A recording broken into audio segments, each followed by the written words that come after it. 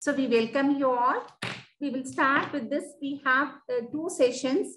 And at the outset, I would like to thank Dr. Ilan Kumaran and um, KOSCON organizing team for giving us a prime slot for uveitis and also it will be a three hours long session. So in session one, we have keynote lecture followed by case presentation. In this, uh, first, I would like to invite Dr. Somasheila Murthy, who's the head of cornea services, uveitis consultant from LV Prasad Eye Institute, Hyderabad. She's also a member scientific committee for AOS. So she'll be talking to us on immune-mediated scleritis, practical guide in the diagnosis and management. Over to Dr. Somshila. Can you play her rec recordings? Good evening, everybody. First of all, I would like to thank the organizers for giving me this opportunity to present at this meeting. When we talk about the practical approach of scleritis, the important questions to ask is how frequently do you see scleritis in your clinic? How confident are you in managing this disease? Do you have availability of good lab facility for systemic investigations or microbiology? And do you have access to rheumatology colleagues with whom you can collaborate? Luckily, scleritis is rare. The prevalence is roughly 6 cases per 100,000 population. However, about 10 to 50% of these patients can have underlying systemic associations, and another 5 to 20% of cases can be associated with infections. So, coming to the answer to the first question, how frequently do you see scleritis in your clinic? If the answer is that you rarely see, in that case, it's enough for you to be able to diagnose a case of scleritis. And also, if you can give a differential diagnosis of immune versus infectious scleritis, anterior versus a posterior scleritis, and if it is anterior, be able to differentiate between necrotizing versus a non necrotizing scleritis. It is also enough for you to be able to start the patient on oral NSAIDs, topical corticosteroids for the immune mediated variety, and in case it is infectious, to start the patient on broad spectrum topical and oral antibiotics, and then refer the patient to a higher center or to a colleague who regularly deals with these cases.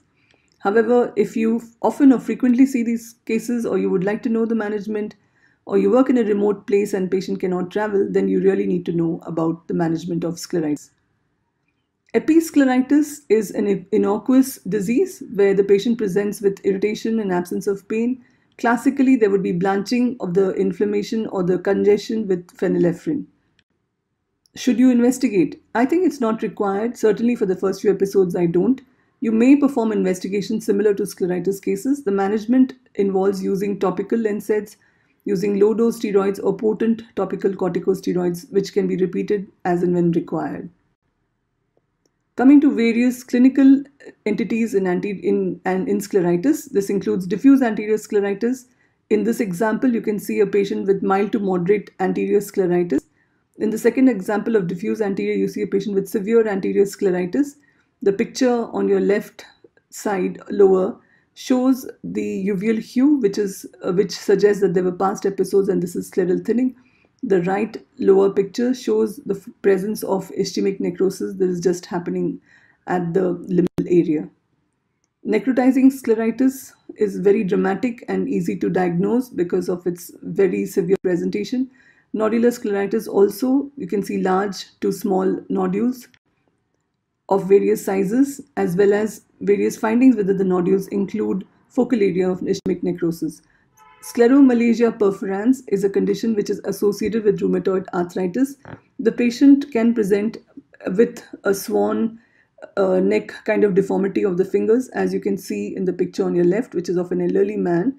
Or the patient can also have joint effusion, as in the picture on your right, which is of a female patient and present with scleromalacia perforans.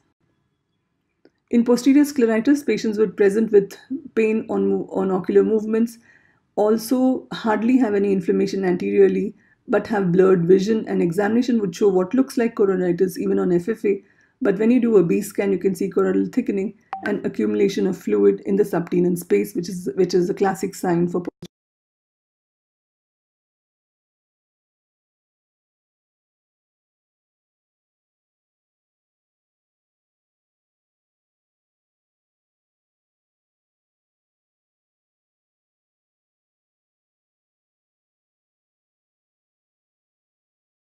scleritis.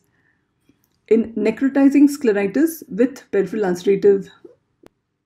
So how to proceed in case of scleritis? We should know the anatomical diagnosis. The age and gender would help us decide the etiology as well as help us manage. The severity is required to see how aggressive we need to be and what is the systemic component. The classification that was first described by Watson and Hayreh way back in 1976 still holds good. They had divided immune-mediated scleritis as anterior and posterior and further subdivided anterior as necrotizing and non-necrotizing. So if I have a patient who has anterior non-necrotizing diffuse scleritis, these patients are perhaps easier to manage, less likely to have reactivations, and may not need very long-term therapy. So when do you do lab investigations? Lab investigations in episcleritis only if it is persist persistent or recurrent in my experience. I always investigate all scleritis and not just the bilateral ones. I always investigate the unilateral necrotizing aggressively and in those patients where I suspect infection. The screening evaluation that we do would include non-specific uh, acute phase reactants as well as more specific investigations such as rheumatoid factor and ANCA antibody testing. Uh, the other investigations such as TPHA and Mantoux test, etc., are done to rule out any other infection that the patient may have. And all of these are subject to interpretation in the context of the patient that we are seeing. So to divide the investigation, certain investigations are done because you're going to start the patient on immunomodulators. So for fitness, the second group are for reaching an etiological diagnosis, which include RA and uh, ANA and ANCA. And also the last group would be the local investigations which are done, for example, ASOCT or ultrasound biomicroscopy B scan, microbiological workup in infection, impression cytology in a suspected masquerade, and the rare case of scleral biopsy when we want to do PCR for viruses. So therapy can be uh, put into four or five steps. The first line treatment includes oral NSAIDs and topical corticosteroids. This can be used for the milder cases most of the time we don't see this case in our practice in, in a tertiary institute. So we often see patients who have failed this treatment. So most of the time we start the patient on second line, which is systemic steroids. And uh, if the patients are the milder variety, they will do well. And we can maintain them on oral NSAIDs or, or occasionally if they have a reactivation with transeptal injection. But if there's poor therapeutic response or we need to use uh, agents for, for a long term, then we need steroid sparing agents such as methotrexate or mycophenolate or azathioprine for long-term therapy for these patients. So in the practice that where I am, we use systemic steroids and methotrexate almost simultaneously in most of the cases and minor reactivations managed with topical or transeptal.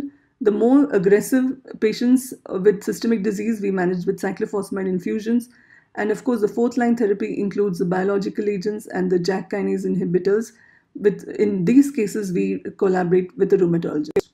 So to conclude, immune-mediated scleritis is rare, but it can be extremely challenging. Uh, the mainstay of treatment for us is oral steroids, but we can't use oral steroids for a very long time, so we have to start the patient upfront on immunomodulator therapy. The newer agents are, are really a boon for both for refractory cases and in those cases where oral steroids or other agents are contraindicated. And it is best to collaborate with a rheumatologist for many of these cases, especially for instituting therapy with uh, biological agents. So once again, I would like to thank the organizers and Dr. Ellen Kumaran for giving me this opportunity to present at this meeting. Thank you. Hepatitis. These patients have an increased association with systemic disease such as Wegener's granulomatosis. This is a patient who has necrotizing scleritis, as you can see there, and peripheral ulcerative keratitis. This patient was ANCA positive and turned out to have granulomatosis polyangiitis or Wegener's disease.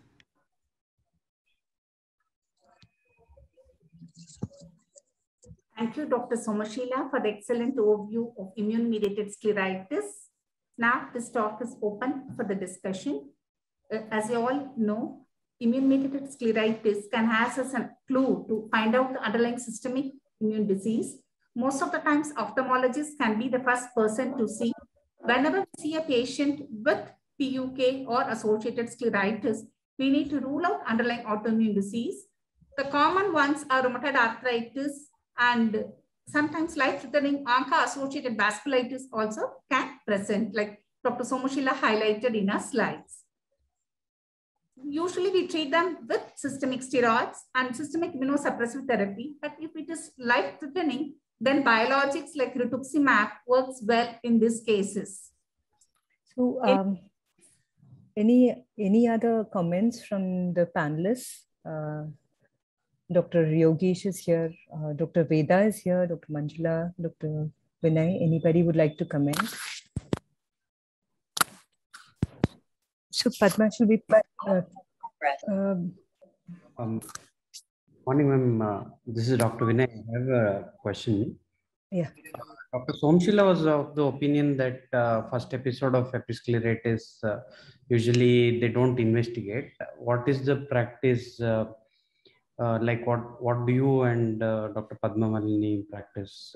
do you investigate right away or do you still wait for recurrent episodes? Padma, you would like to answer? Yes. Yeah. The first episode of episcleritis, I don't investigate. But in case of scleritis, we look out for thorough systemic evaluation. If systemic examination gives the clue, then we go ahead and investigate and treat the condition. Or most of the times the scleritis is so painful, we have to put the patient on systemic corticosteroids. And before that, we do a screening protocol. I do investigation the case of a scleritis, even if it's a first episode, if it is severe category. So, um, Veda, would you like to comment? Yogesh is also there. So, uh, any of you? Yeah. I think you're on mute, Dr. Veda. Can you hear me, ma'am? Yeah, I can hear you. Yeah, uh, yeah. Uh, but uh, as Madam said, usually episcleritis, we don't uh, first episode we don't uh, uh, evaluate but if it is a nodular episcleritis again we think maybe we have to rule out immune related because uh, nodular episcleritis sometimes there may be an immune related cause. So even in episcleritis if it is of nodular type sometimes it won't settle down with topical steroids alone. So before starting steroids we would like to evaluate the patient uh, further. So if first episode of nodular episcleritis we do evaluate in detail Dr. Um, Yogesh, Dr. Yogesh wanted to comment. Uh, yes, uh, yeah. yeah. No, mine was mainly a question uh, regarding okay. the transeptal steroids uh, or a periocular steroids for scleritis. How uh, often would you use it in your practice now? So I, would like to take that comment because I've had mixed uh, responses with that. Um, it is a controversy, though there are papers which have suggested to use, you could use this in diffuse scleritis or sectoral scleritis away from the site and all. But I think it is very important to keep in mind what kind of scleritis you're dealing with. And if there is any suspicion of infection, I think you should avoid um, periocular because this is a general forum. I would kind of want to highlight that aspect the most important. Second thing is many of these refractory scleritis does not settle down with periocular because they have some association with a local, uh, I mean, with a systemic cause. So generally the ones uh, where I have tried local steroid injections are patients with refractory scleritis like with IgA nephropathy or those kind of, but unfortunately I've not had very great results with them but uh, i think i would like to stress on the fact that you know unless you are sure that it is not an infection.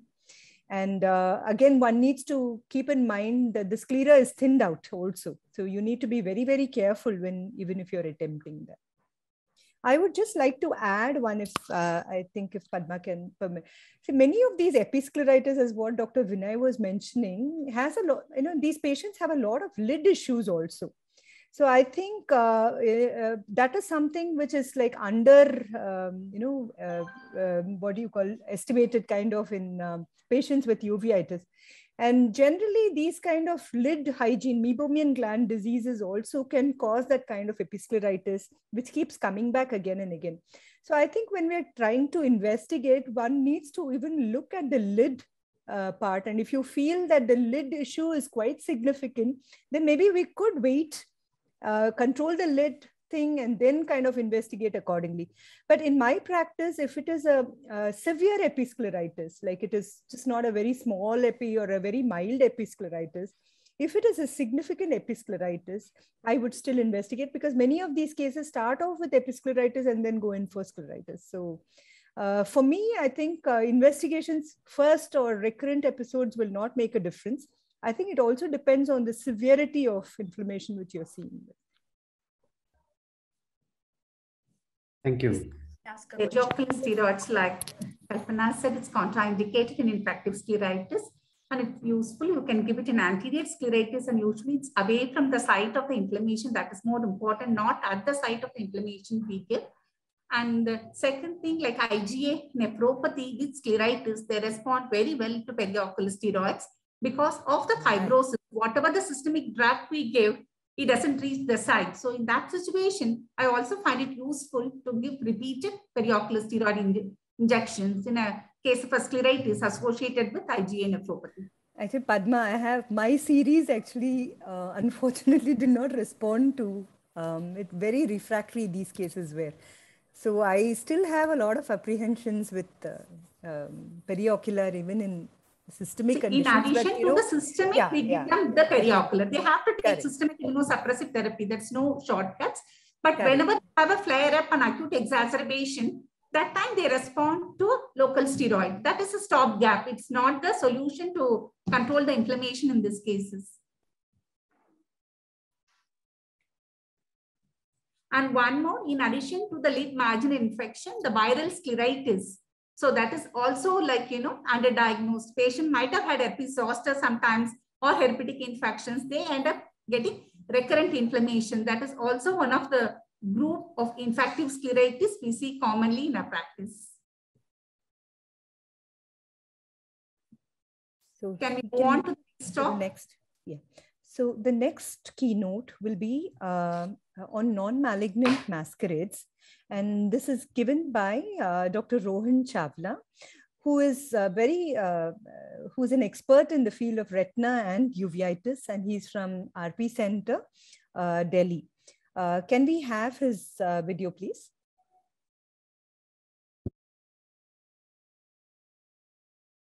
Good morning. At the outset, I would like to thank Karnataka Ophthalmology Society and especially Dr. Elin for giving me this opportunity. So my topic is non-malignant masquerades. So whenever we talk of uveitis and whenever we assess a patient with uveitis, the first objective is to confirm whether the patient is actually having inflammation in the eye. Is it actually uveitis or is it something which is mimicking, mimicking uveitis? So they can be malignant mimickers and they can be non-malignant mimickers. So I would be talking more about the non-malignant things which may look like uveitis. There are no financial disclosures. So let's go from anterior to the posterior segment. So talking about what mimics anterior uveitis. Sometimes you can have a patient with an acute red eye with corneal edema and high pressures and with probably some cells which you might mistake for anterior uveitis with high pressure. But if you look carefully and you make a slit and see the endothelium, if you find a lot of pigment dispersion there, not much of KPs, it might actually be a case of pigment dispersion syndrome with glaucoma. So it may not be anterior uveitis at all. So if you do a gonioscopy, you might find a heavily pigmented angle over there. And in some cases, you might find these Krukenberg spindle-like deposits in the center in the pupil. On uh, UBM, the patients would have a plateau sort of iris, and this confirms that it is a more of a pigment dispersion syndrome.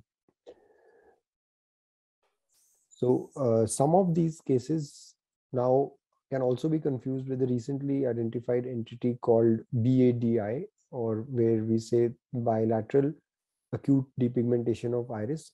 Now, in those cases, also the eye would have more of pigment in the anterior chamber, but it would be more red and painful and more symptomatic and more acute than a pigment dispersion syndrome. So these have minimum differences, but it is important to differentiate between these conditions. Let us go a little behind.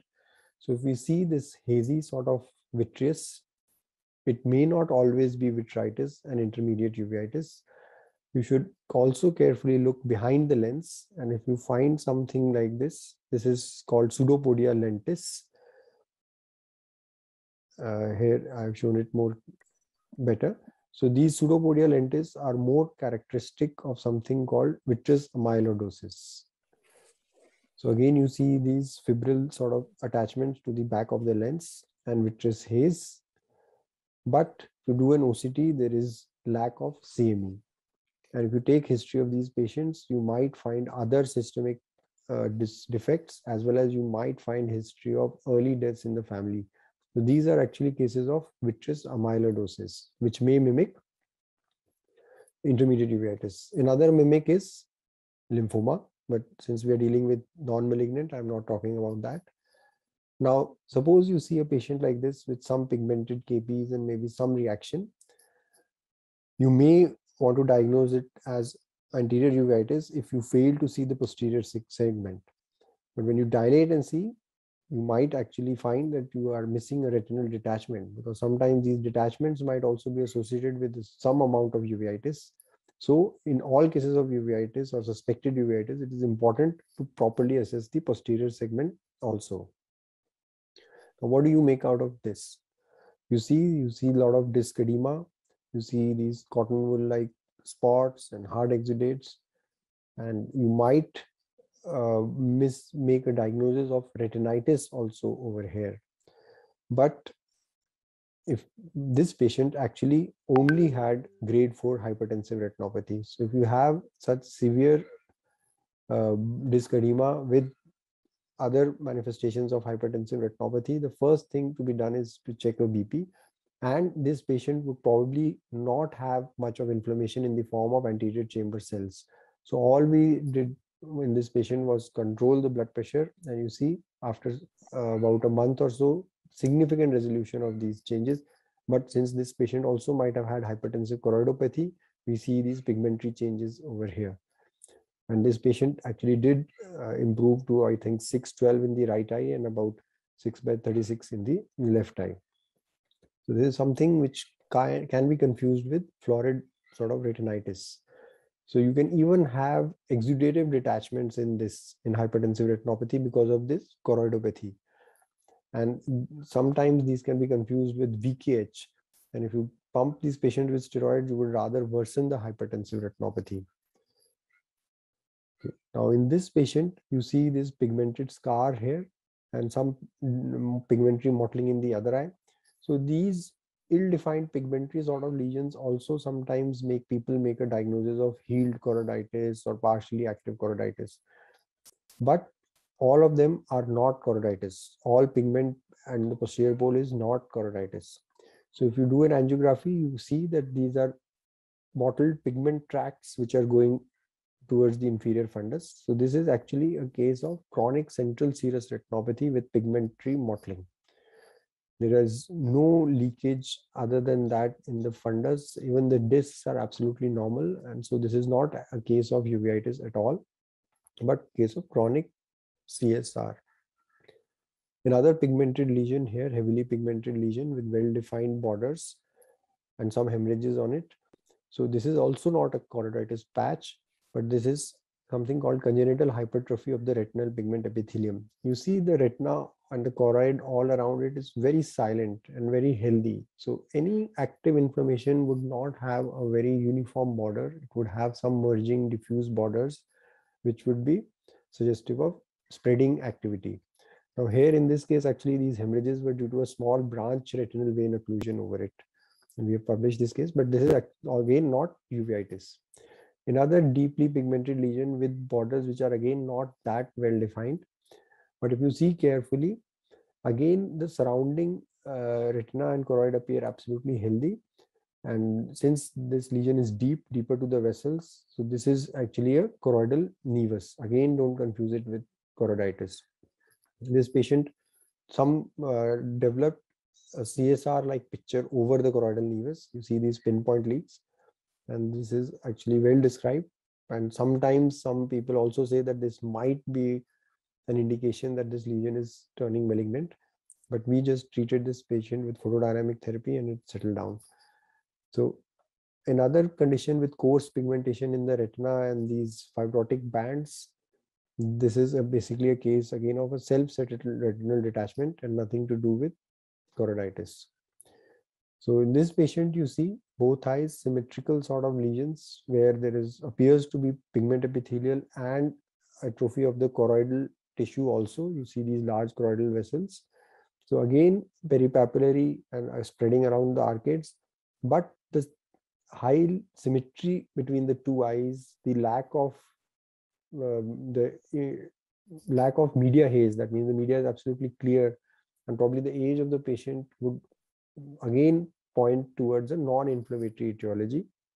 And you see the OCT, again, the fovea is normal, and or you the atrophic patches again can be highlighted with the retinal pigment epithelium as well as the choroidal tissue is atrophied. So this is again a dystrophy, so an annular choroidal dystrophy and not uveitis.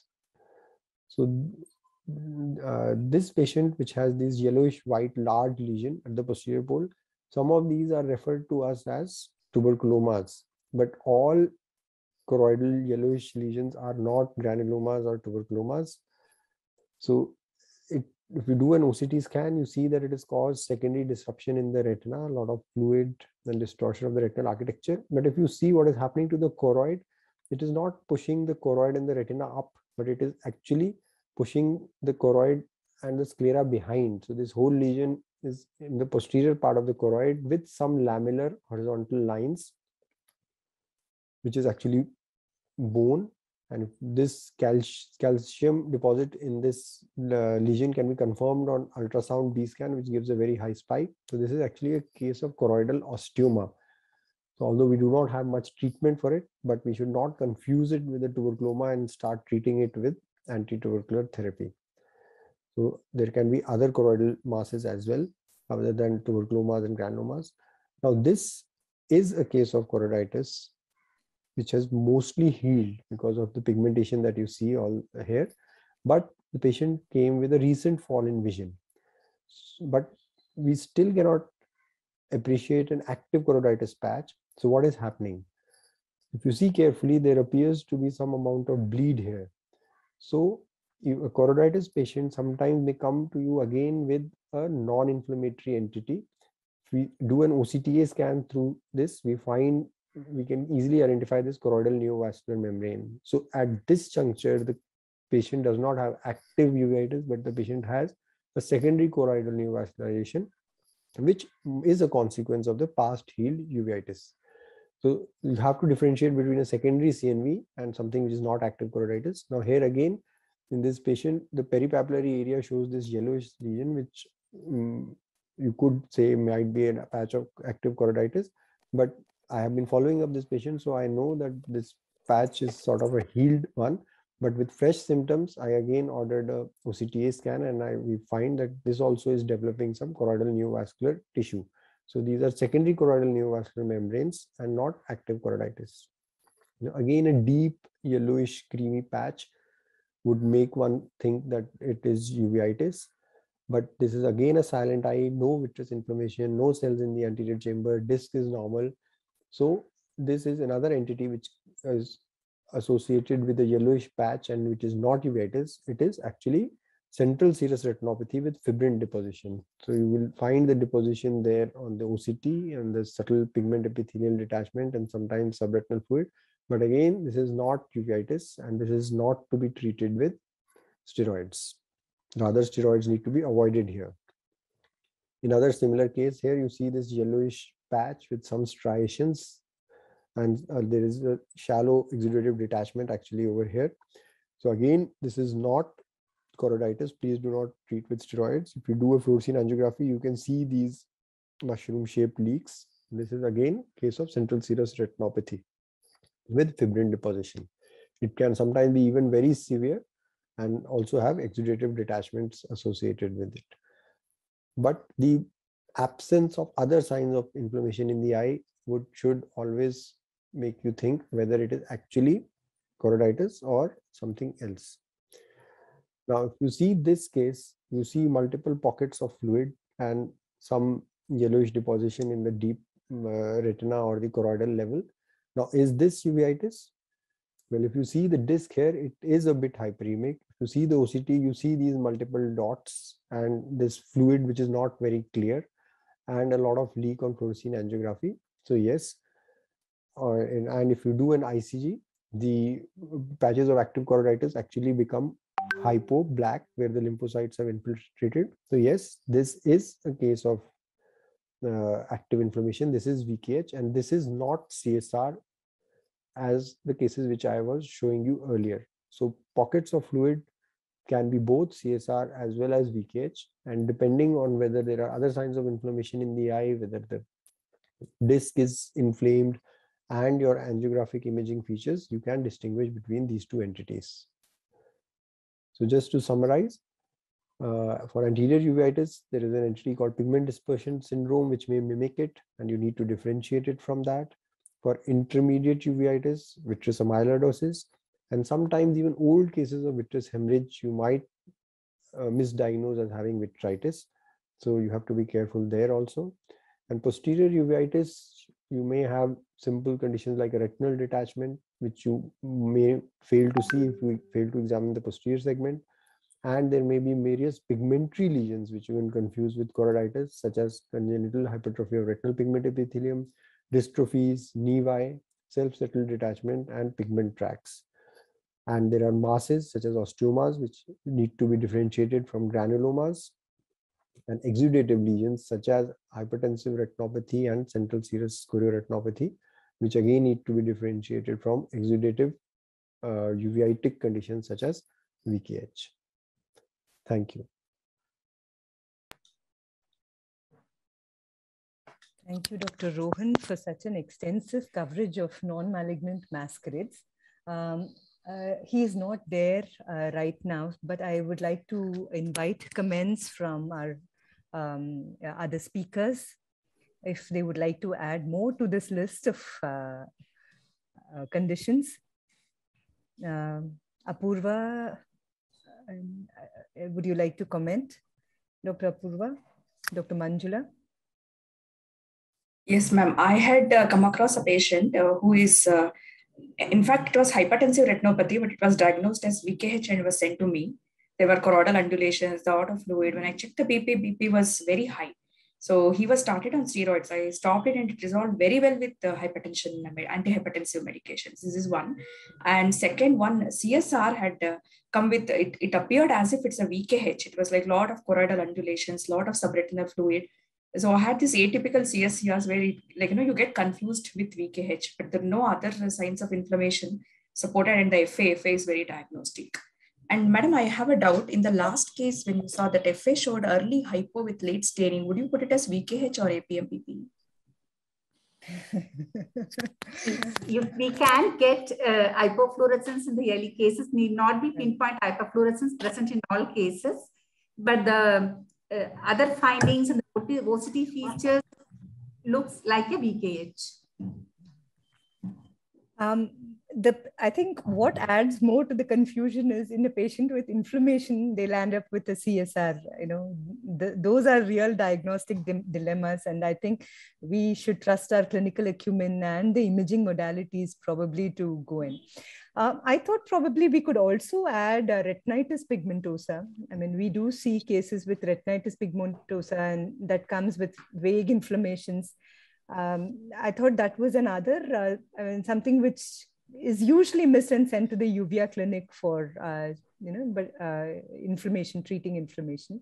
And neurofibromatosis, sometimes these Lisch nodules, sometimes they sit on the iris and uh, they can be sent as iris granulomas. So I think this is something more we could add into our list of uh, huge list of non-malignant masquerades. But I would really agree with Dr. Rohan in terms of malignant hypertension and CSR, which are so commonly mistaken for uveitic entities, and the treatment is totally different.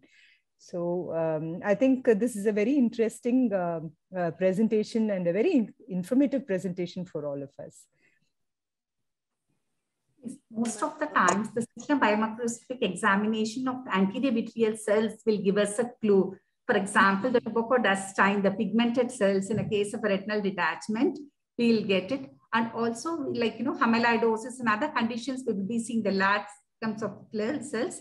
And lymphoma also, we will see large morphology is different and the slightly larger shaped cells. So this kinds can help us and also the pigment uh, cells in addition to the RPV also come across in other retinal dystrophies. That again, definitely one of the differential diagnosis for non-malignant masquerades.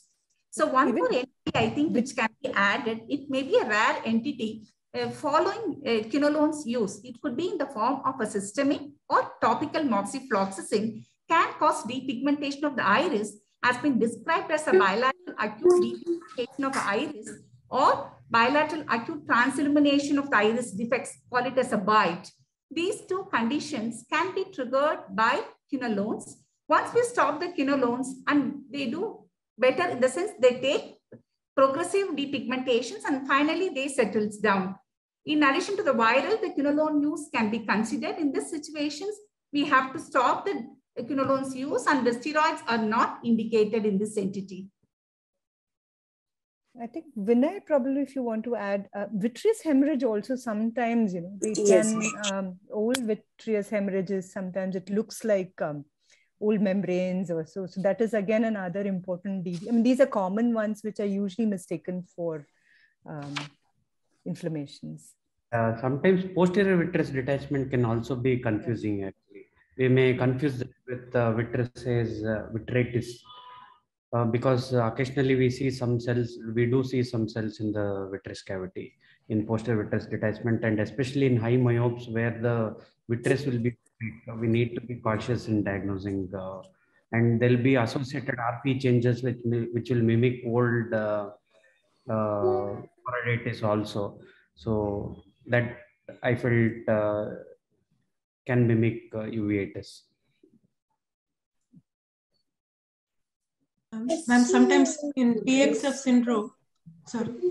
Yeah, pseudo exfoliation. In PXF, yeah, pseudo exfoliation, when they right. dilate it, the PXF material and the pigments get released. Can you so unmute yourself, unmute the video? You can switch on your video. Sorry, sorry, sorry.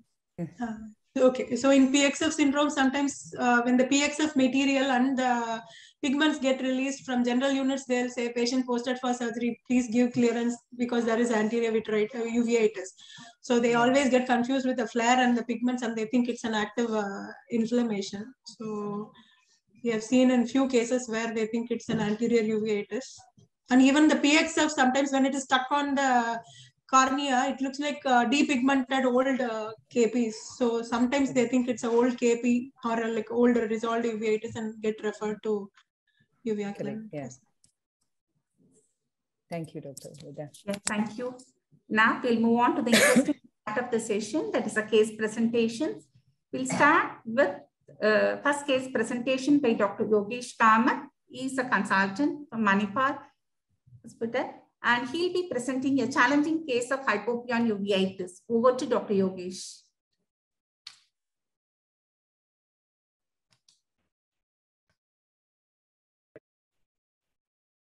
Good morning. I would like to thank the organizers for giving me an opportunity to present uh, a challenging case today.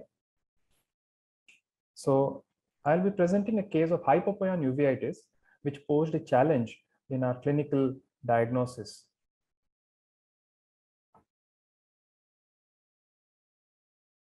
So this patient was a 65 year old lady, a farmer, who presented with a photophobia and pain in the right eye with redness since two weeks. She had no relief with topical antibiotics and had decreased vision since six months in that eye. She was not a diabetic and had no other systemic illnesses or cardiac illnesses. She had a history of trauma, which was very vague, which she says uh, embers of firewood fell into her face, uh, but she wiped it off immediately and there was no bleeding from the eye. The other eye was normal with the 6-9 vision. On examination in the right eye, her vision was only hand movements and she had a very fluid hypopyon, which was a very striking, uh, uh, strikingly changing its position with uh, uh, position of the head. And apart from that, her intraocular pressure was only 12 millimeters of mercury. And when we searched for a specific evidence of trauma, there was no evidence of corneal, scleral, or conjunctival tear which was seen. As there was no view of the fundus, a B scan which was done showed a hyperechoic vitreous with membranes. So at this point, we made a diagnosis of a right eye acute panuveitis, uh, which was non-granulomatous in nature in a farmer with a history of trivial injury to the eye, which he had had two weeks earlier. So at this point, the differential diagnosis would have been a traumatic endophthalmitis. However, there was no entry wound seen. It could have been endogenous endophthalmitis. However, there was no systemic illness. Could it have been leptospiral uveitis? But she denied any history of fever or myalgia. Immunological causes which she should not have missed or ruled out include uh, Behçet's disease, which is very commonly seen with the hypopyon, classically described with the hypopyon, uh, hypopyon uh, uveitis, but she denied any history of joint pain or oral ulcers. There was a possibility of HLA-B27 related uveitis, but she denied any skin, joint, inflammatory symptoms or genitourinary or gastrointestinal symptoms. So at this point, I would want to investigate and uh, I would have wanted to ask for an antechamber tap probably for PCR analysis and endogenous endophthalmitis I would have wanted to rule out by doing a blood culture. Leptospira uveitis using a leptomat. Behçet's, if I could get HLA-B51, would have been good. And later on, if the view improved, I would have probably wanted an FFA. And of course, for HLA-B27, uh, I would have wanted the HLA-B27 results itself. This is apart from the routine investigations such as complete blood picture, ESR, uh, liver and renal function tests, which we would need for monitoring the treatment, rheumatoid factor and an ANA. We had to rule out tuberculosis. We had to rule out masquerades, so we might have asked for peripheral smear and HIV and TPHA in case she was immunocompromised and we didn't know it. However, the patient, when we gave a list of investigations like this, uh, was uh, turned out to be very financially poor and she could not afford any of them and was reluctant. At this point, we thought we had to do with the resources which are available. And so when we went back to her history, something which was striking was a decreased vision in six months with the other eye being normal. So when we asked her more about this six month history of loss of vision in the right eye, in the eye which has now got a hypopyon uveitis, she revealed that this decrease in vision had started following an injury with a wooden stick six months earlier.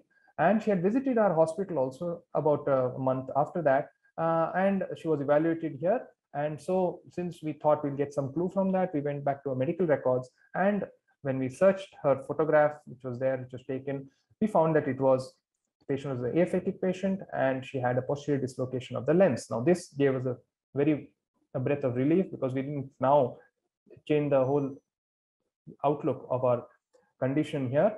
And uh, since the cataract, uh, it, the lens was also cataractous, it went more in favor of a lens-induced uveitis. In any case, uh, we had to treat the patient. So after a few days of, or I think around a week of uh, getting all the clearances from the insurance, uh, she we she agreed for the surgery and we had to take her up for surgery. So after initial anterior segment scleral tunnel, which was made, uh, she underwent a vitrectomy, uh, courtesy uh, Dr. Shailaja, uh, my vitreoretinal colleague.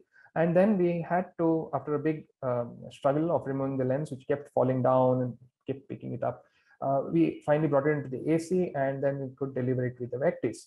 And then there was a layer of very dense exudates which had formed over the iris, which we could literally peel off.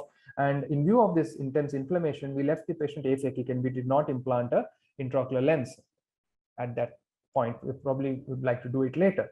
So on presentation, the uveitis had improved and uh, thereafter she was just kept on topical steroids and systemic steroids. And with that, she improved considerably and with a clear, clear view of the fundus when we saw her two weeks post-op.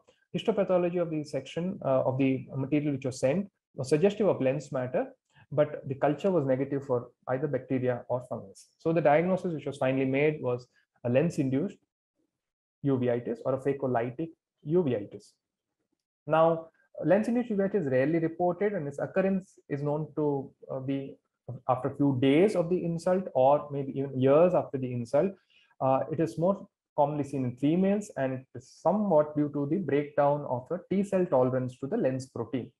Uh, earlier, the term phacoanaphylactic endophthalmitis and phacotoxic uveitis were used. Nowadays, if the capsule is ruptured, we use the term phacogenic or phacoantigenic uveitis. And if there is an intact capsule, as it was there in our case, we call it phacolytic uveitis. The treatment is, of course, the surgical removal of the lens along with the steroids and anti-glaucoma medications if the pressures are high. If left untreated or in even if it is uh, treatment is delayed, there is a possibility of neovascularization and a proliferative vitreoretinopathy, and there may even be a hyphema associated with the hypopyon due to the intense inflammation. It can also mimic a chronic endophthalmitis and uh, usually can, though we expect, because of lens matter being there, we expect a granulomatous uveitis. Here we can also see non-granulomatous type of uveitis and that explains why the hypopyon was moving with the change in position of the head. So I would like to thank uh, KOSCON, uh, the organizers of KOSCON once again uh, for giving me this opportunity. And now I think the case is open for discussion. Thank you. Thank you, Dr. Yogesh, for presenting the most challenging case. Now this case is open for discussion.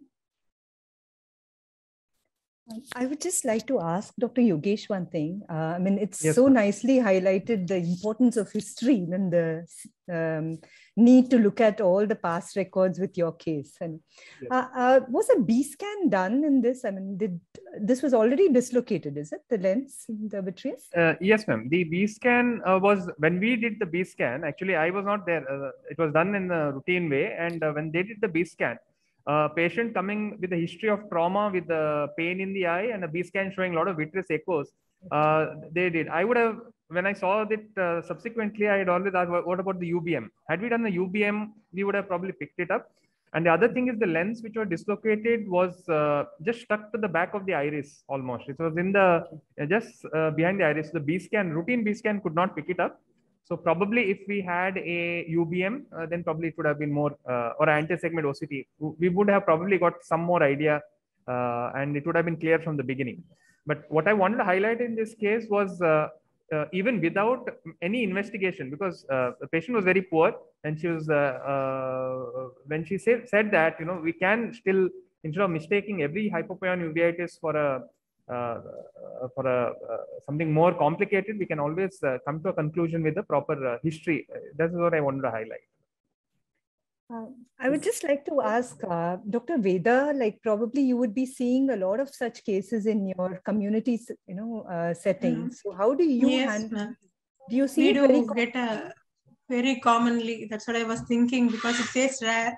But still at least here we get a lot of cases. Sometimes we have one eye mature cataract and other eye lens induced uveitis. The two with backlog of covid we are getting quite a few cases.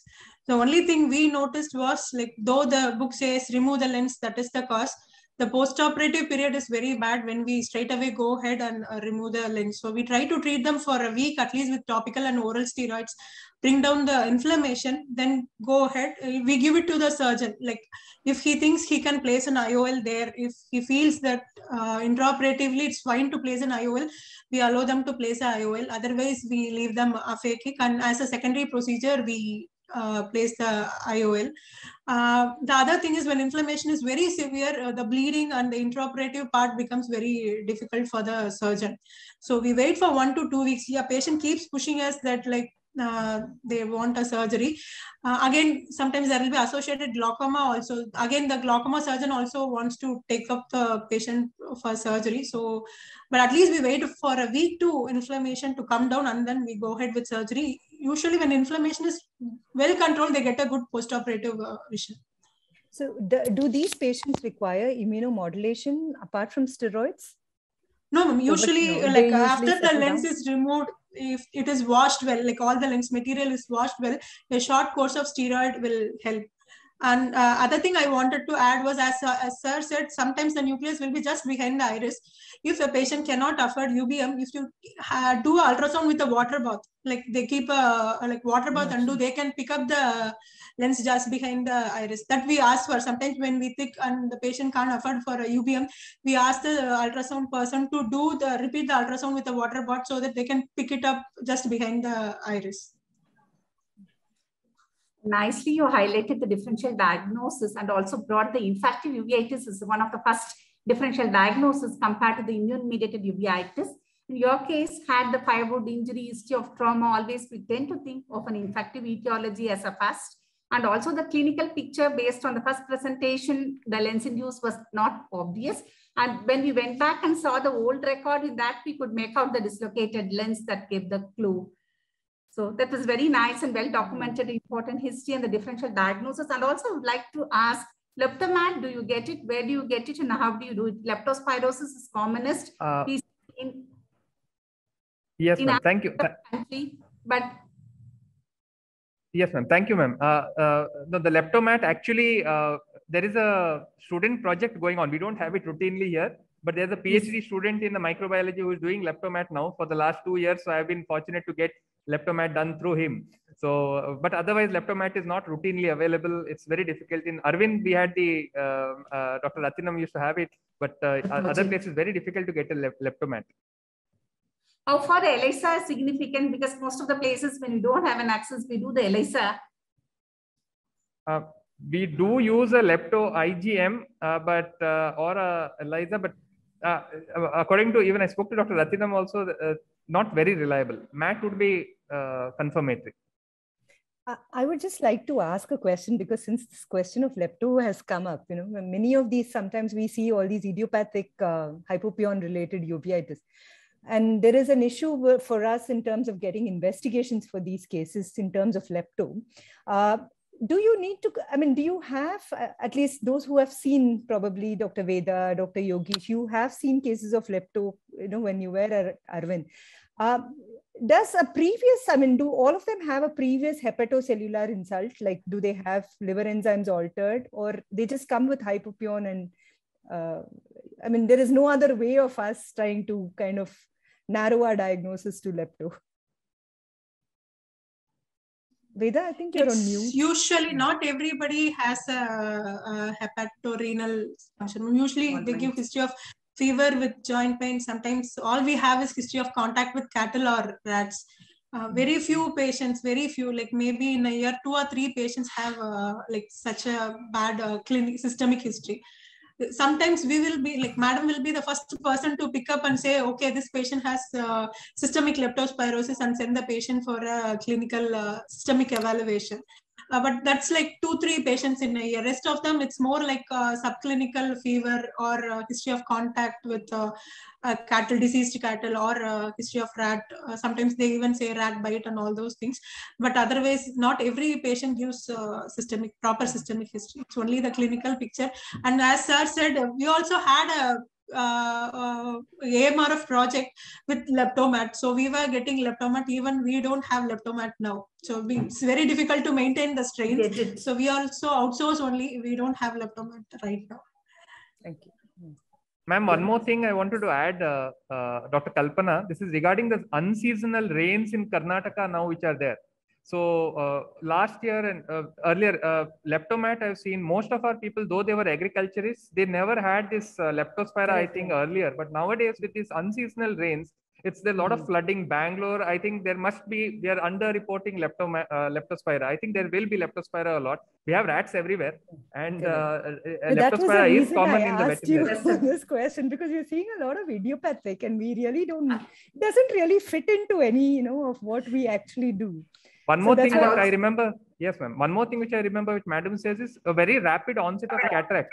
So cataract yeah, develops very fast in very them. Fast. Uh, the other thing is a non-granulomatous panuveitis with only it, it mimics uh, endo, endogenous endophthalmitis. Okay. So something like a, a, subclinical endogenous endophthalmitis sort of a picture, we have to probably think of lepto. Lepto. Thank you, thank you. And also the thank partially you. absorbed lens, also we see just cataract lens. Yes, ma'am. So um, if there are no further questions, we will move on to the next case. And it, we had a wonderful discussion. Actually, I've learned a lot in this uh, with this case. So we'll move on to Dr. Vinay's video um, on an interesting case of a choroidal nodule. I think this is a wrong, yeah. I think it's... Uh, as per the order, I think Dr. I'm sorry, I'm sorry, sorry. It's Dr. Manjula. I'm sorry. I'm really sorry. It's yeah. Dr. Manjula's case. Yeah. No problem, madam. Good morning. Yeah, but sorry, can I'm, I share my slides? Just a minute. We'll introduce you, Dr. Manjula. Yeah, yeah. Dr. Dr. Manjula is a uveitis and retina consultant from Retina Institute of Karnataka, Bangalore. And she's going to present an interesting case with the title of With Great Comes Great Responsibility. To Dr. Manjula. We will take up Dr. Can, uh, can I request them to stop sharing so that I can share? Yeah, thank you. Yeah. Yeah, are my slides visible, ma'am? is Manjula. Yeah, can I go ahead? Yes. Yeah, good morning. Uh, at the outset, I would like to thank KOS and Kalpa, Kalpana ma'am and Padma ma'am for giving me an opportunity. I'll be presenting a case of a 78-year-old gentleman who presented to us with blurring of vision in the left eye of eight months duration. He gives history of no vision in the right eye since past six years. He's a known hypertensive, well controlled with treatment. He's a non-diabetic. He's undergone bypass surgery six years back and he's been stable throughout. Looking back at his treatment history, he was diagnosed elsewhere as having left eye CRVO with macular edema, for which he received intravitreal ranibizumab in the beginning, and then he was shifted to DEX implant. He has received a total of five implants in the past one and a half years, and the last implant being in September 2021, just one month prior to presenting to us. In between, he has undergone a cataract surgery also for the same eye. On presentation, the best corrected visual acuity in the left eye is 3 by 60. I'm not going to talk about the right eye because it's a prephthisical eye. The left eye anterior chamber showed 2 plus cells. The vitreous also showed presence of 2 plus cells. There was a mild vitreous haze and DEX implant was visualized in the vitreous cavity. On fundus examination, the left eye disc appeared slightly pale. The vessels appeared slightly tortuous. There were blotchy hemorrhages, which are more confluent in the posterior pole, but are also seen in all the four quadrants. And in the last picture, you can see the DEX implant in the vitreous cavity. But what was surprising was the presence of a large granular retinitis patch in the superonasal periphery, which was extending, sorry, extending almost three clock hours. The OCT through the macula at that time on presentation showed near normal foveal contour with mild parafoveal hyperreflectivity corresponding to the hemorrhages and a mild parafoveal cystoid edema. With a provisional diagnosis of viral retinitis, uh, he was investigated systemically also. There was no evidence of any infection with Mantoux being negative, X-ray normal. VDRL was non-reactive. He was immunocompetent. Peripheral blood smear was normal and serum ACE levels were normal. He underwent AC-TAP for PCR of viral profile, which was positive for cytomegalovirus and negative for HSV and VZV. The plan was to give intravitreal ganciclovir 2 milligram in 0.1 ml twice weekly as the induction phase for two weeks, followed by a maintenance phase of once a week injection. But at this point, my only question was the implant being there, is it okay? Because we know that steroids can impair the resolution of retinitis, active retinitis. When I looked through the literature, it didn't help me much, probably because the, that there are not reports, many reports available. I decided to observe for three points. The first point, there were no randomized control trial to prove the point of explantation of the ozurdex. The second, the retinitis patch was in the periphery, not in the macula. Third, we might require steroids during the management of retinitis to combat the inflammation. All these points made me, uh, made, made me to observe the implant as of now. So as per the plan, I started him on intravitreal ganciclovir, 2 milligram in 0.1 ml twice weekly. After one week, what I could see is the vision being stable and the retinitis patch started showing regression. The resolution continued even after 10 days with good resolution of the retinitis patch. The AC reaction had also come down. After two weeks of induction, I switched on to maintenance phase of once a week injection. I also added oral valganciclovir 450 milligram twice daily. With this, both systemic and topical, uh, local intravitreal uh, and antibiotics, antivirals, at one month, the retinitis patch showed significant resolution. And then when I saw him at six weeks, the BCVA had slightly improved to 6 by 60. AC was quiet, which is, was clear. And I was happy with the resolution. It was almost 90% resolution of the retinitis patch.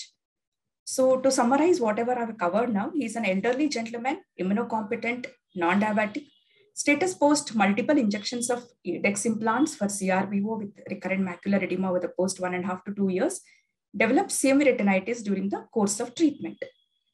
So when I looked into the incidence, because this was first I encountered in an immunocompetent and post-DEX implant, they have reported viral retinitis. There are a few reports of viral retinitis as after any local type of steroid, whether peria or peri or, uh, or ocular or intravitreal or subconjunctival, even sometimes into the anterior chamber. But what they have reported is it's about 0.441% with uh, after intravitreal triamcinolone. They have also reported these viral retinitis after sustained uh, release implants like Ozurdex or fluocinolone. And in about 76% of these patients, CMV is implicated as the cause. The duration when the, the mean time to develop retinitis is not known because possibly because of the lesser number of cases, But in this report, they say that it is up to three to four months after transplant. And with DEX implant, they say it is around one to 1.5 months. We know we uh, have also managed retinitis being developed after uh, even when the patient is immunosuppressed, like example, post-renal transplant. This is a patient who is after renal transplant with systemic immunosuppression develop, developing a macular CMV retinitis following DEX implant with phacoemulsification. He developed these symptoms two months after the procedure. But when I was looking at immunocompetence, are there any reports? There is one case report which was published in American Journal of Ophthalmology in 2021, where they reported a case of CMV retinitis following DEX implant. Here, the patient was a known case of wet AMD. He, he had failed to show any improvement with anti-VEGFs. As a desperate measure, they gave him DEX implant. And after 10 weeks, he complained of floaters. And when what they saw was a retinitis patch, CMV retinitis patch, which resolved well with treatment by this all we know that we knew that steroids are immunosuppressive agents. they're very strong immunosuppressive agents but locally also they can cause enough immunosuppression to trigger cmv infection see we in our practice as retina practice we use dex implants in many of the conditions where we are not getting a good response to the conventional treatment or as a primary choice in pseudophakic cme or as uveitic uh, cataracts as a cover local steroid cover but what we should remember is the altered local immunity caused by these can trigger reactivation of fulminant latent infections like CMV, ARN, and toxoplasmosis. And the uh, risk is amplified in immunosuppressed individuals. In immunocompetent also remember that specific prophylaxis against these agents is impossible. Hence, it becomes very important in case selection, which becomes very much significance. So at this point, this is the latest follow-up when I saw him one week back. He had come with a slight blurring of vision in the left eye. Vision had dropped to 2 by 60. There was 1 plus cells in the AC. There's a mild vitreous haze. Luckily for me, the retinitis didn't show any paradoxical worsening. It continued to show resolution. However, on OCT, there was a recurrence of macular edema with the increase in parafoveal spongy spaces.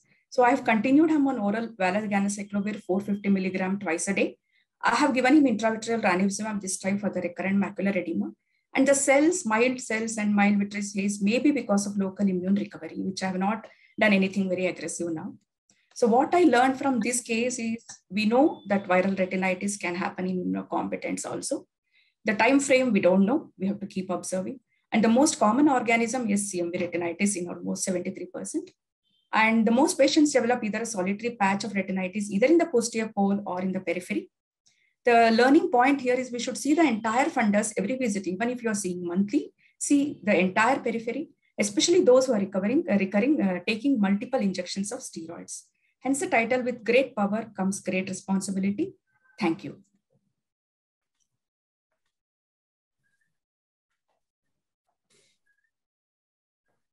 Thank you, Manjula, for a uh, for a wonderful case. And as you rightly pointed out, uh, um, local steroids, again, our practice has increased of local steroid implantation, and one needs to be very, very careful when we are using these drugs as well. My, uh, I would just like to ask a question to you. I mean, contrast to, I mean, I do agree with you. We do see a lot of these cases with intravitreal trichodes. And with the DEXA, it's far lesser. But of course, we do see in DEXA as well implants.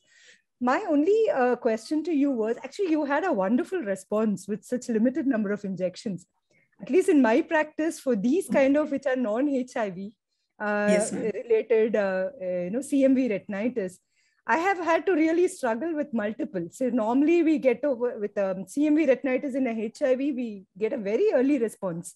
Whereas in yes, a non-HIV, like your case, uh, I we need a lot of injections to give. I would just like to ask um, Dr. Um, Dwani and Dr. Vinay also because they are VR surgeons as well.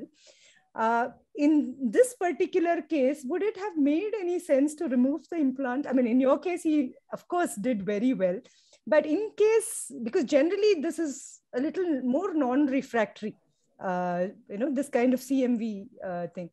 So yes, there we are. I yeah, thought sorry. I will uh, observe for one month and then take a call. I have given eight injections, madam, in two months. Yeah, but uh, Actually, luckily even a lot more. So that's yes. unlike yeah, luckily, HIV, yeah, usually yeah. these take a longer time to settle down. And also, what we have seen in our practice is they have a lot of uh, vasculopathy. So there are a lot of uh, ischemia. There is a lot of, so these guys uh, progress to neovascularization very quickly. So generally they need to be lasered once the retinitis settles down.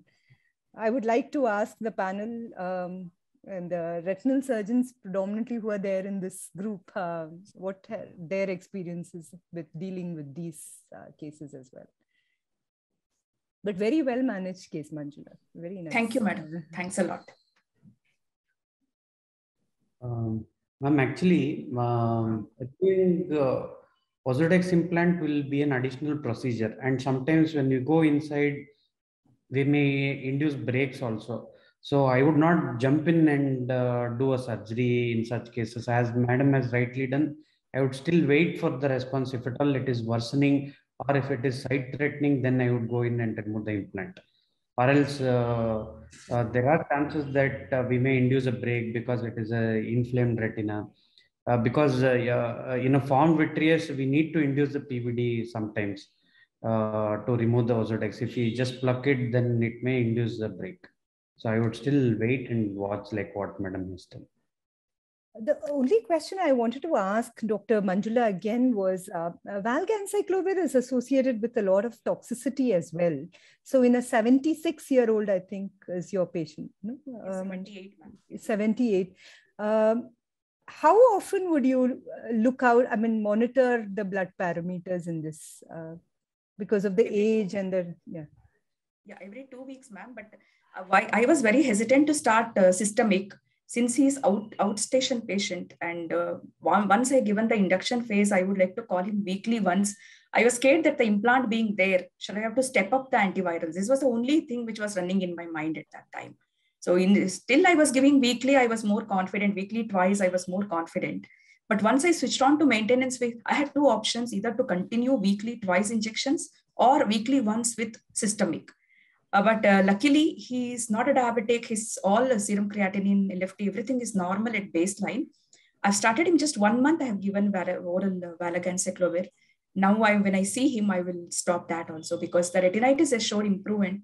The primary pathology has come back. For that, I have given anti-VEGF so that I need not have to rush into laser till the haze completely goes down.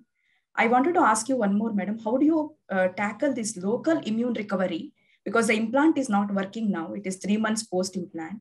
He has developed cells and haze. Do you start systemic steroids or do you wait for the local immune recovery to uh, come, come down? Basically, for CMV retinitis, we don't use systemic steroids like other ARN kind of a thing. Uh, if you have immune recovery uveitis with vitritis, they do well with the topical steroids, such as difluprednate, that has a posterior segment penetration, reduces the macular edema, provided the intraocular pressure is maintained within normal limits. But otherwise, these patients have the tendency for the pressure to go up. One more thing I would like to ask is this particular patient uh, um, have refractory macular edema with recurrence with so many Ozurdex injection. I would like to look into revisit the cause. What was the loss uh, cause for the vision loss in the right eye? One. And the second thing, this, this patient in addition to uh, autoimmune, the infective workup, uh, what was the serum homocysteine level? Uh, the right eye loss is because of uh, trauma. Even when uh, it, this case was given to me, I was worried about what type of retinitis it is. Even though clinically it looked like CMV, ARN was unlikely. However, the other eye is traumatic and it is prephthisical. It is quite, it is not causing any watering or redness or photophobia. Second one, I have uh, not investigated into homocysteine per se because uh, he's 78 years. You, if you say, I will definitely investigate for homocysteine. See, also. what are the cases, few cases we have seen when they have a refractory course with so many Ozurdex injection, when they're coming back with that, and we have seen the, in addition to that, the vasculopathy causes uh, also can be there. And in that situation, so additional folic acid will help the patient to recover. I, I do agree the age is not in favor, but especially when the patient comes back with refractory macular edema secondary to CRVO, I think it's worthwhile to look into additional systemic hematological parameters in this case. Sure. Very well managed. It's such a complicated one. I have to develop the viral retinitis and it's a tough decision whether to retain or to remove. So that one. Thank you, madam. Thanks just a lot. Looking into the root cause analysis, I was just wondering. It may not have association, but better to check it out the possible causes. Surely, ma'am. I'll look into it. Thank you, Dr. Manjula. May I request uh, Dr. Vinay, um, Dr. Vinay to present his case. Uh, Dr. Vinay is uh, a Vitro consultant from Vittala Institute of Ophthalmology. And uh, can we have his presentation, please?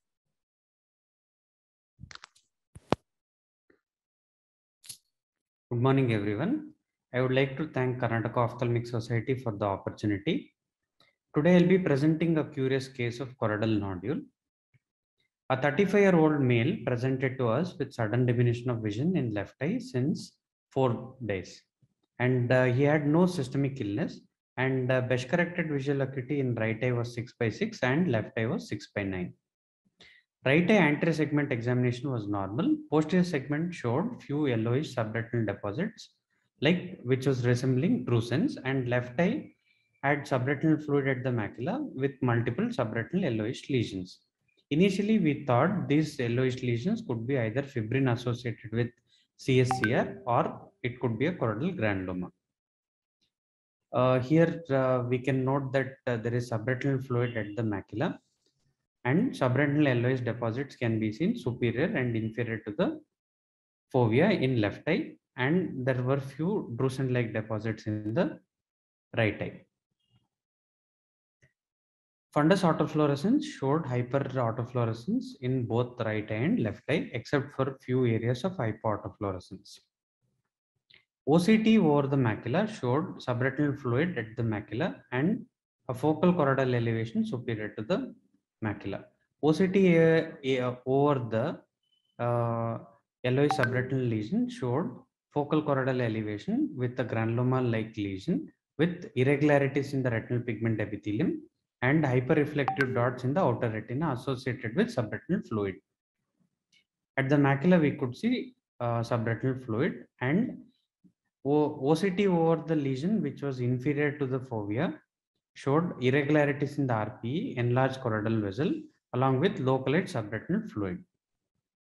Surprisingly, in the right eye also over the uh, drusen-like deposits, we could see irregularities in the retinal pigment epithelium associated with localized subretinal fluid. There was no subretinal fluid at the fovea. So considering all these findings, uh, systemic workup for uh, granulomatous uveitis was done and uh, HRCT chest showed pericardial effusion and urine showed albuminuria. And when we routinely checked blood pressure uh, before FFA and ICG, uh, to our surprise, we uh, noted that the blood pressure was 230 by 120 millimeters of mercury. Immediately, the patient was started on antihypertensive medications, and one week later, the blood pressure was 140 by 80. So we went back and uh, saw the uh, fundus photos, and actually I had missed uh, the segmental arterial narrowing in the right eye along with AV crossing changes, and in left eye there was gross AV crossing changes along with segmental arterial narrowing. And once the blood pressure had stabilized, uh, ICGA was done. ICGA along with fluorescein angiogram was done and ICGA showed gross choroidal hypoperfusion. Here we can see gross choroidal hypoperfusion on ICGA in initial phase. And even right eye showed choroidal hypoperfusion. And with later stages of ICGA, there was uh, uh, extensive choroidal vascular leakages noted both in right eye and left eye. Here we can see uh, choroidal vascular leakage in the left eye and here in the right eye. And uh, uh, very late phases of ICGA showed a linear uh, streak like hypercyanescence corresponding with the choroidal vascular leakage. And uh, on follow-up at one week uh, post-reduction in blood pressure, the blood pressure was 142 by 80 and the yellowish subretinal lesion had disappeared and uh, the subretin uh, subretinal fluid at the macula had completely resolved. And OCTA, OCT over the lesion showed a decrease in the choroidal elevation except for few irregularities in the retinal pigment epithelium and the minimal subretinal fluid and the segmental arterial narrowing and AV crossing changes had grossly decreased. Uh, this here uh, we can hardly trace the artery, whereas uh, post reduction in blood pressure we can uh, prominently see the artery. The same could be seen in the left eye, where uh, segmental arterial narrowing was seen before uh, at presentation, whereas after the reduction in blood pressure, uh, segmental arterial narrowing had decreased. So highlights of this case are hypertension could be important non-malignant uh, masquerade and focal choroidal elevation can be mistaken for granulomas in hypertension choroidopathy. So identification of hypertension choroidopathy is crucial in such cases as we treat patients with choroidal granulomas with uh, steroids, which could be uh, actually detrimental in such cases and uh, it could worsen the condition.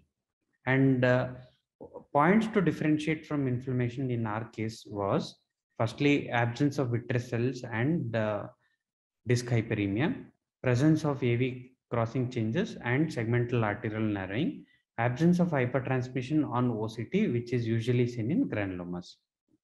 So in our case on OCT, we could not see any hypertransmission posterior to the lesion.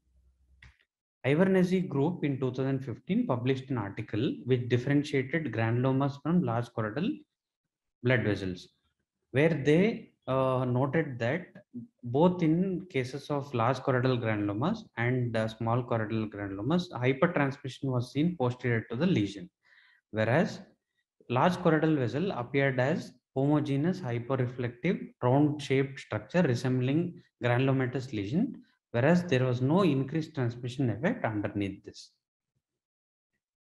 Thank you. Thank you, Dr. Vinay, for highlighting the importance of diagnosing hypertension as one of the differential diagnoses which can mimic granulomas. Now this case is open for the discussion. Yes. Dr. Uh, Dr. Manjula, would you like to comment on this case? No, ma'am. I had similar experience, but it was bilateral. So easy for me to look into hypertension as the cause. Okay. Dr. Apurva uh, is also, uh, Dwani is here. Yeah. Yes, Dwani. Uh, ma'am, actually, uh, this was uh, quite significant and we investigated and we understood it is a hypertensive choroidopathy. But actually, in our practice, uh, like people just come in for a general examination and if we look at the AV crossing changes, I have been diagnosing uh, blood pressure in patients like almost two to three new cases per day. So it's very important, like whenever a person comes in for uh, uh, examination, we do, we should, like if we have access to a blood um, automatic machine, it's uh, simple just to do it in two minutes. And uh, otherwise, sometimes we feel like, okay, fine, you get it checked. And, you know, that doesn't uh, like uh, translate well to the patient they will yeah okay fine i don't have any symptoms. But these are the cases like so many times i have diagnosed and sent them to the physician that your bp is really very high. So that was like this is like a routine like an automatic machine not to go with the manual one but uh, it should be done as a routine because it, we see some changes in the eye which others may not that is very true, actually. Um, so I think that's a very important point taken, and I think it corroborates very well with uh, the previous lecture by Dr. Rohan as well on non-malignant masquerades. So uh, hypertension is something which is definitely uh, more common, and I think an ophthalmologist will it is i mean can pick it up much earlier. So i think your points are very well taken dr dwani dr manjula and dr vinay. Uh, dr apurva is also here. Would uh, do you want to comment dr apurva on this case on the imaging? I'm not sure if yeah. Ma'am i'm in the middle of something. I'm sorry. Uh, i'll i'll probably comment later. Okay sure. Uh, padma So basically, like, you know, this eye acts as a window for us to diagnose hypertension, especially the patient is 35. And most of the times they can be having underlying systemic disease. This particular patient presented with pericardial effusion and albuminuria. What was the systemic workup results for the cause for the hypertension, Dr. Vinay, in this case? Um, actually, physician had extensively worked up for the cause of hypertension. Uh, later on, when I probed, actually he had a family history wherein uh, four to five of his uncles had uh, sudden cardiac arrest or uh, history of CVA, uh, but they could not find any uh, suprarenal cause or something like that. Yeah, many times they have underlying systemic, like you know, renal pathology or cardiac related issues or autoimmune disease. That could be the reason for the hypertension that needs a detailed workup. And like I think in this uh, one point, like I would like the uh, Pad- transmission hyperfluorescence is important to differentiate between the choroidal vessels and the granuloma. In case of uveitis, we can have associated posterior vitreous cells. The retinal changes, SRF will be there. Even in the granuloma, we can differentiate whether it could be tuberculosis or sarcoidosis. The sarcoid have predominantly a homogeneous in, structure with probably Sattler's layer involvement, whereas in TB, we get a full thickness involvement with a lobulated and heterogeneous echo. In that way, we can differentiate between different types of granulomas and also the choroidopathy. In addition to that, we also get structures like a Elschnig spots on the RPE changes in, in hypertensive changes. Basically, they have an extensive choroidal ischemia, which shows as nicely seen in your ICG images as a non-perfusion. Ma'am, how often do you see choroidal elevation, such kind of choroidal elevation in hypertensive choroidopathy? There can be, there are reports of PEDs and uh, the pigment epithelial uh, uh, irregularities, but how often do you see a focal choroidal elevation like this? And also it's associated with, you have seen lot of uh, exudative detachment. It's seen, it depends upon the severity of the disease. I think the pathology is uh, focal choroidal ischemia. So because of the focal choroidal ischemia, the RPE overlying is also affected. And probably that is the reason why you're also seeing, and maybe also dilated vessels alongside the choroidal vas- vasculature is dilated, maybe, you know, so there are multiple factors probably which could have, you know, because focal choroidopathies are uh, described in uh, malignant hypertension as well. So I think in this case, maybe it's a combo of multiple factors which could have caused those kind of choroidal elevations. But it's a very interesting case. I mean, we've learned a lot through this case. But what I would also like to highlight for an ophthalmologist is a basic urine routine gives you a lot of information. And I think we picked up quite a bit based on the albuminuria, which was there. Uh, and then because normally you do not see otherwise, you know, uh, and uh, that is something which should strike even simple tests, lab tests will give a lot of uh, clue. So Padma, we'll move on to The next case, yes. Thank you, Dr. Next Vinay. case- Yeah, thank you, Dr. Vinay, for the well-documented and highlighting the important step not to miss the fundus findings and urine examination in a practice. Thank you. Thank you. The next speaker is Dr. Ankush Kawali. He's a senior uveitis consultant at Narayan Nethralaya. He'll be presenting to a case of an infection in non-infectious sclerouveitis. Over to Dr. Ankush.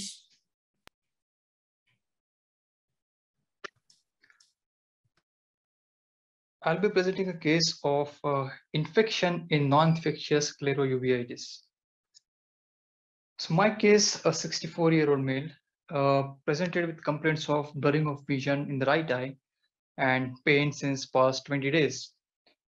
Uh, he was he has shown elsewhere, and the diagnosis of bilateral posterior uveitis or posterior scleritis was made. The patient is hypertensive and diabetic on treatment. He's also known case of uh, rheumatoid arthritis and he's on HCQ as well as methotrexate 15 mg. He has first seen a neuroophthalmologist who suspected autoimmune optic neuropathy or old optic neuritis and uh, had done uh, visual fields which showed in the right eye advanced field loss and left eye peripheral defects. The VP showed bilateral optic nerve demyelination right more than left. Since the patient is a known case of uh, posterior uveitis or Curie posterior scleritis, he was referred to uh, uvea department. My colleagues have seen earlier. Uh, the presenting visual acuity is 1 by 16 in the right eye, 612 in the left eye. In the right eye, the patient has got scleral thinning and the fundus shows peripapillary swelling and tessellated background. And the B scan shows thickening of posterior sclera. Since CRP is quite elevated, the Mantoux is also positive, and the ANA is also positive, as well as the patient's RA factor is also positive. Uh, so with this, uh, the diagnosis of active scleritis was made and the dose of methotrexate was increased, a leflunomide was added, and Omnacortil was started. And the rheumatologist also started alendronate.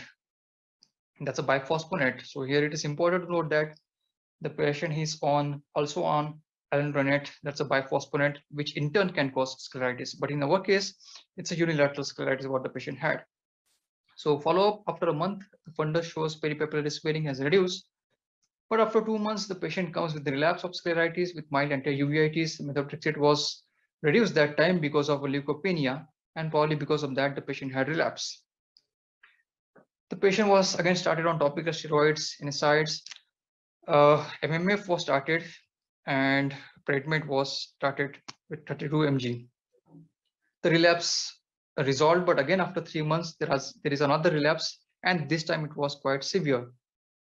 Again, steroids, IV steroids, and the patient was finally started on cyclophosphamide.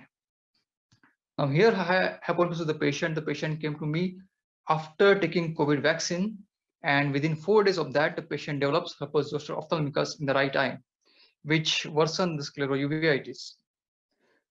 The steroids, uh, the oral steroids were tapered and uh, Valcivir was added, the immunomodulator therapy was withheld.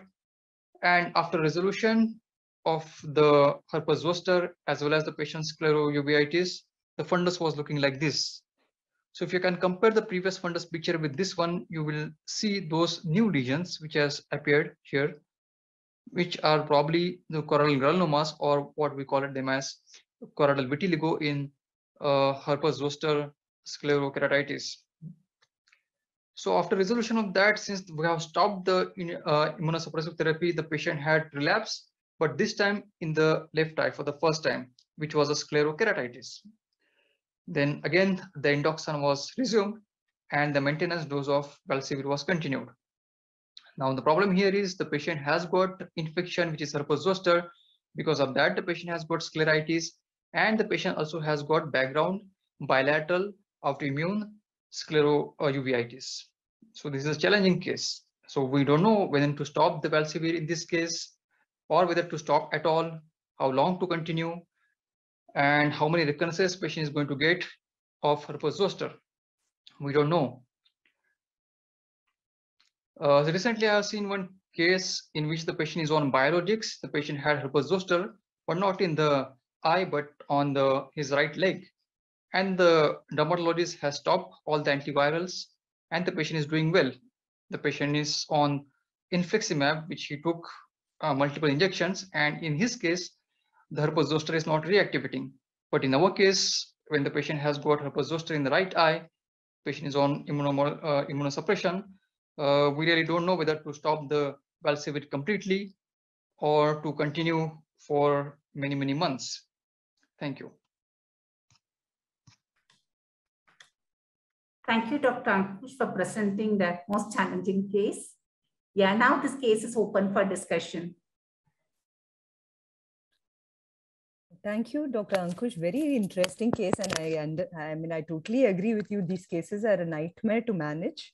Uh, my question was, uh, you were showing this, you know, choroidal granulomas. So was this patient also having a scleral component along, I mean, posterior scleral component, or was it just a sclerouveitis? Um, I mean, I that part I just didn't get it in terms of.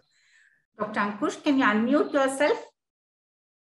An answer it was definitely an interesting case but probably what we we do in our cases are um, for me the take home in this particular thing was those choroidal depigmentary alterations which she was seeing. I mean uh, that is something which i don't think i have noticed or maybe i should start noticing uh, in our cases. The only other thing which probably i would like to keep is these patients who are on immunomodulators for um, the systemic disease, it is definitely a challenge in terms of infections, and we do give prophylactic antiviral uh, for a very long period of time. Again, it varies. Either we can give weekly prophylaxis, bi-weekly prophylaxis. I mean, I think it is basically a, a case to case basis. Is this Dr. Ankush, you can answer the second time when the patient had a choroidal vitiligo. At that point of time, Dr. Yeah. wanted to know was there is a scleral involvement as well. Was there a posterior scleritis Yes, component? yes, yes, that yeah. It was a panscleritis. The patient came with the anterior plus uh, uh, posterior scleritis. So patient had a lot of pain. He came with a uh, lid edema. The movements were restricted. And uh, after resolution of this scleritis, uh, when we examined the fundus, we discovered those uh, hypopigmented lesions in the inferior and temporal fundus, which we uh, call them as a choroidal granuloma or uh, choroidal vitiligo. My only question, probably for you, Dr. Ankush, is um, see, the, in rheumatoid arthritis also we do get a panscleritis involvement as well. Right. Um, so in those cases, um, you know, is there any way to suspect uh, that there could be because there are no other? You can even get a sclerouveitis in a rheumatoid also. So in Yeah. your case, my only thing is how will you differentiate? Like, you know, when do I start antiviral in this? If So the, in, in my case, it was the diagnosis was crystal clear because the patient had history of herpes zoster. He came with the unilateral forehead uh, skin rash, and at the same time he had scleritis. So the history of uh, vaccination and following which after four days the patient developed herpes zoster, typical skin rash, and in addition to that uh, the scleritis. So uh, the diagnosis at that time it was very clear that it's a herpes zoster induced uh, scleritis and not a reactivation of the old uh, uh, RA-related uh, scleritis. the other thing, what I also noticed in your presentation was there was an optic nerve swelling as well, right? Yeah, he was been diagnosed as optic neuritis by neurologists. Was Uh, it uh, was consequent to the herpes? before coming to our hospital. So he was diagnosed elsewhere. So uh, we don't know about it. So when he came to us, it was a scleritis initially treated by uh, my colleagues. And then uh, after a few months, he got the vaccination, which uh, caused the herpes zoster infection and then the scleritis. And the beautiful part is after resolution of this, uh, uh, when the immunosuppressive agents were discontinued, uh, after a month or two months, he had other eye uh, sclerokeratitis, which was typical of uh, RA. The patient came with a sclerokeratitis. So that the patient had in the left eye peripheral uh, corneal infiltrates, uh, which were very typical of uh, RA-induced uh, sclerokeratitis. And then the immunosuppressive agents were restarted. Okay. okay. So following post-COVID infections and also the vaccination, we are seeing a lot of virus reactivation, herpetic group, especially the varicella zoster virus, presenting in the form of herpes zoster, anterior uveitis, and we have seen a couple of patients with acute retinal necrosis as well. So which needs to be diag- diagnosed and managed appropriately. And coming to the hypopigmented choroidal lesions, recently which we have reported in ocular immunology and inflammation, the herpes zoster patients, when they present and during the recovery, they do develop these hypopigmented lesions in the choroid. We call this as MXCL, that is multiple hypopigmented choroidal lesions. These, they are just present. And when we do the either the ICG or the OCT, we are not able to pick it up. Only the fundus photograph picks up these lesions. We just observe this patient. If they have any associated involvement of the intraocular signs, then we treat them with anti-inflammatory. Otherwise, these hypopigmented lesions per se does not require any treatment at present in our Yeah, series. they do not, uh, just one point I would like to add that although they do not require any treatment, the ICG in some cases uh, did pick up those hypo lesions. And those hypo lesions were because of the uh, choroidal scars. So when we did the OCT over those scars, the OCT was showing choroidal thinning.